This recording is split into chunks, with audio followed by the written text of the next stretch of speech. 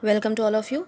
In this video, we are going to know about the chapter The Story of Cricket written by Ramchandra Guha from the book The English Connection. So this chapter is divided into two parts. In first part, we will know how cricket developed and in second part, we will know how cricket came to India. So let us understand first part of this chapter first. So in the first few three paragraphs, we know that how cricket developed what are the oddities in this game in this sport? So first information we get about the cricket that uh, cricket in first paragraph that uh, cricket how cricket developed Hist- what is the history? So we know about that cricket grew out of many stick and ball games played in england 500 years ago. And the word bat is an old english word that simply means stick or club.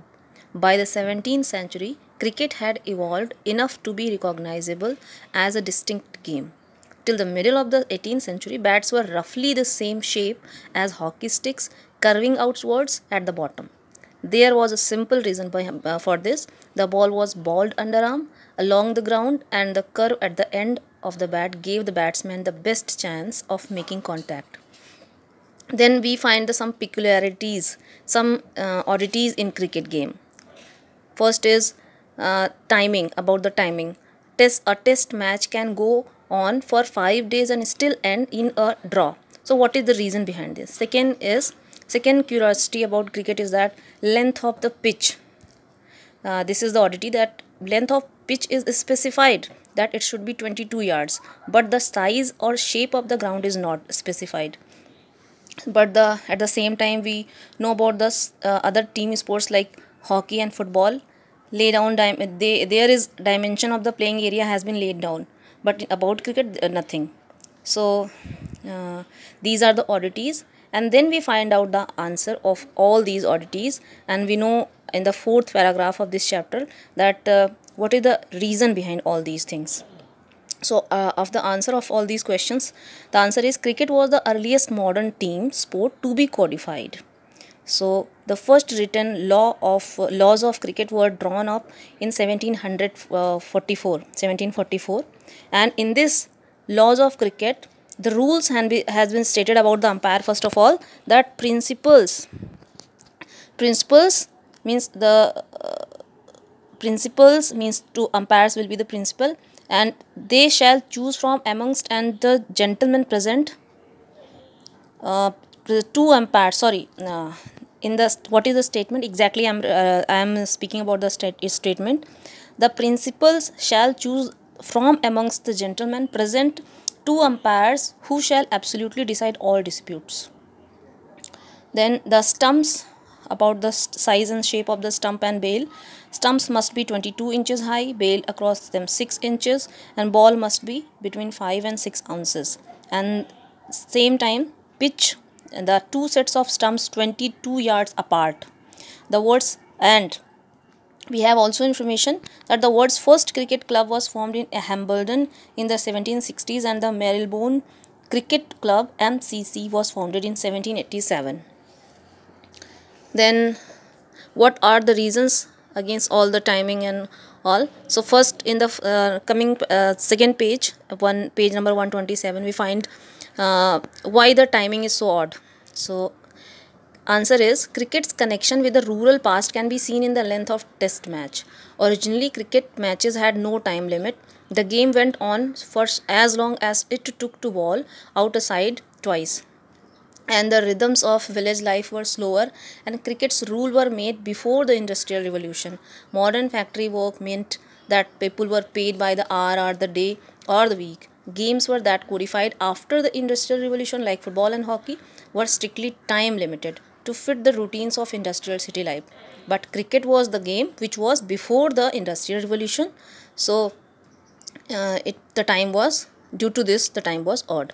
Then another size and size of the ground playground which is not a specified answer is that the cricket uh, was originally played on country commons so unfenced land uh, that was public property and the size of common commons varied uh, common places were varied from one village to another. So there were no designated boundaries or boundary hits when the ball went into the crowd the crowd cleared a way for the fieldsman to retrieve it.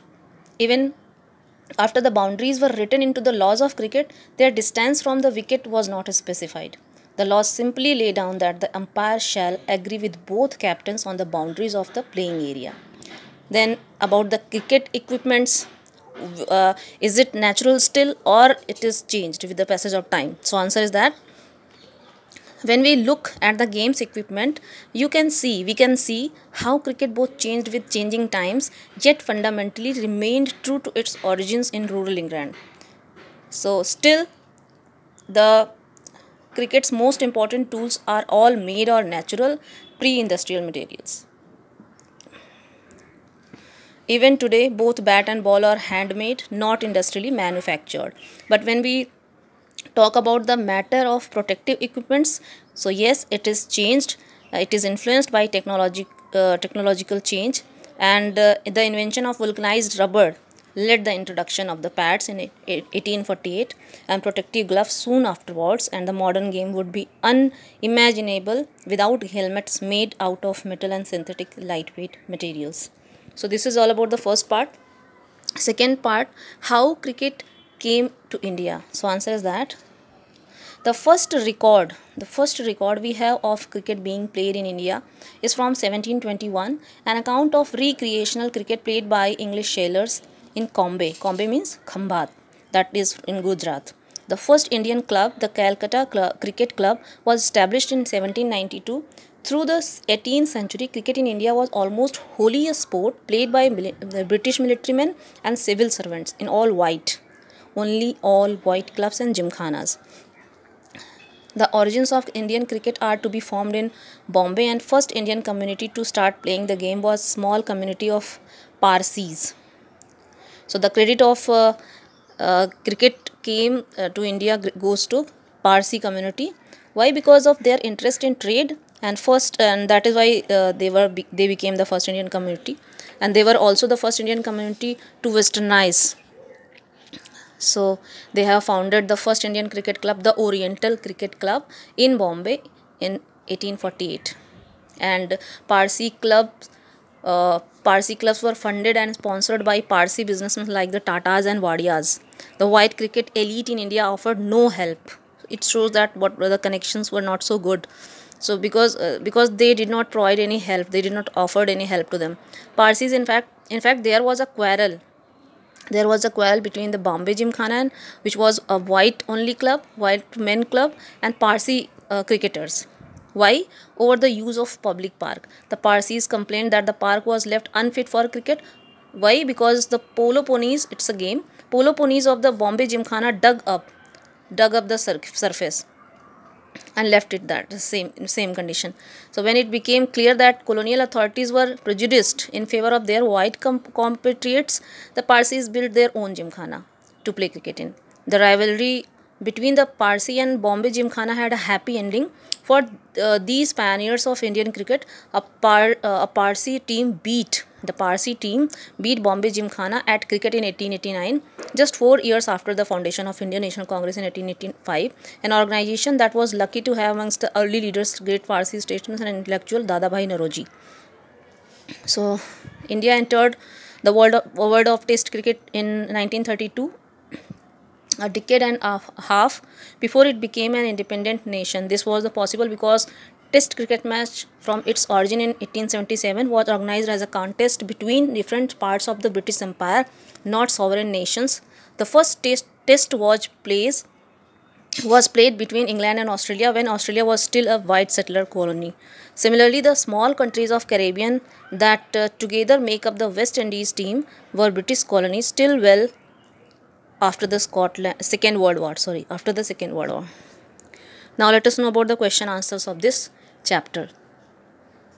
So first there are some MCQs. There are uh, there are three MCQs only. So first first question in the uh, MCQs is the shape of cricket bat changed. Answer is the bowler started pitching the ball through the air. That is why. Second, cricket matches are played over 5 days as the game began. Answer is before the industrial revolution. Next, third last, the first people in India to play cricket were. Answer is C, the Parsi community. Now section B, question answer of the section B. There are four questions in section B. First question is, what was the original shape of cricket bats? When and why was it changed? Answer is, till the middle of the 18th century, bats were roughly the same shape as hockey sticks, curving outwards at the bottom. And there was a simple reason behind this. The ball was ball underarm along the ground and the curve at the end of the bat gave the batsman the best chance of making contact. Question number 2 though the length of the pitch is specified 22 yards the size or shape of the ground is not give reasons answer is Cricket's vagueness about the size of cricket ground is a result of its origin. Cricket was originally played by country commons. Unfenced land was the public property. The size of commons varied from one place to another, so there were no designated boundaries or boundary hits. Question number 3. Why are cricket bat and ball made of only natural materials? Answer is cricket bat and ball are made of only natural materials because cricket has its origin in rural England. Question number 4. How did cricket come to India? Answer is Cricket came to India by the British people. The first record we have of cricket being played in India is from 1721. Now, C section. Sorry, uh, it's a continued answer. Uh, answer number 4 cricket came to india by british people the first record we have cricket being played in india is from 1721 an account of recreational cricket played by English sailors in Cambay through the 18th century cricket in India was almost wholly a sport played by British military men and his servants in all white clubs and gymkhanas. Section C, two questions. First question is what was the attitude of the British towards the Parsi cricket players? Give evidence from the text to support your answer. Answer is British authorities were prejudiced in favor of their white compatriots because in, in a quarrel between Bombay Gymkhana, a white only club, and party cricketers, uh, sorry, and part and party cricketers, Parsi, sorry, Parsi cricketers over the use of public park. The Parsi complained that the park was left unfit for cricket because of the because of the polo ponies of Bombay Gymkhana dug up the surface when it became clear that colonial authorities were prejudiced in favor of their white compatriots. The Parsi built their own Gymkhana to play cricket in. Last question. What do you learn about Anglo-Indian relations through the history of cricket in India? Answer is, when we learn about Anglo-Indian relationship through the history of cricket in India, we find that relations were not so good. British authorities were prejudiced in favor of their white compatriots. The white cricket elite in India offered no help for to the enthusiastic Parsis. So this is all about the chapter, all about the question answers.